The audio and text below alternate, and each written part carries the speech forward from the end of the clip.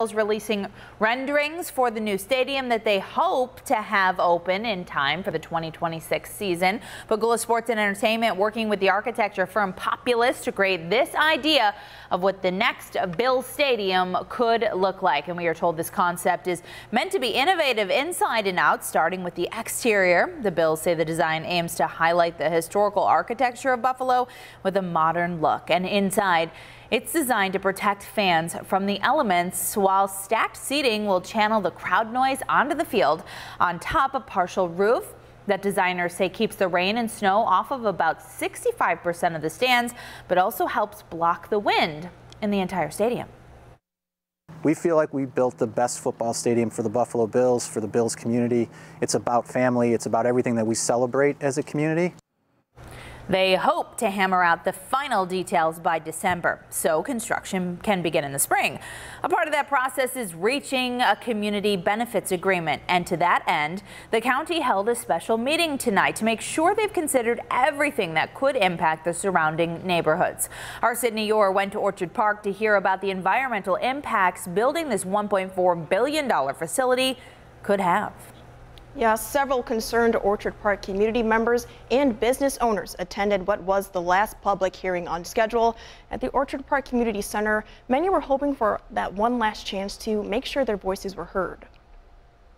With regard to the building, it's in the renderings that came out today, they're spectacular. Two brand new renderings of what will soon be the new Bill Stadium were released to the public Thursday morning. And while some fans looked on in excitement, others were not as pleased. We are making the mistake of a lifetime by putting a stadium out here in Orchard Park. Many people who took to the podium made their appreciation for the current home of the Bills known, but beyond that lifelong love is a love for their own homes nearby. I've either seen, heard, or been to every Bills game.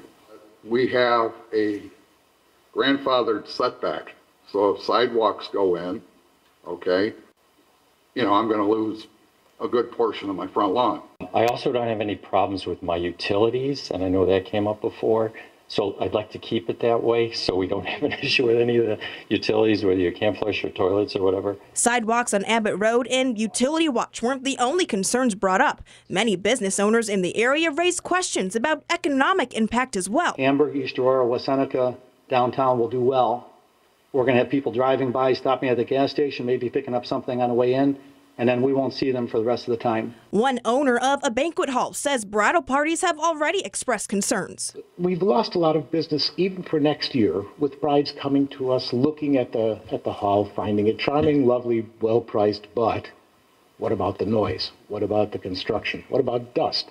As a part of the State Environmental Quality Review Act process, at Thursday's public scoping meeting, documents were shared and broken down to help community members understand the process behind some of the decisions in question. Some areas covered in the review are traffic management plans, a noise impact study, and demolition mitigation plans.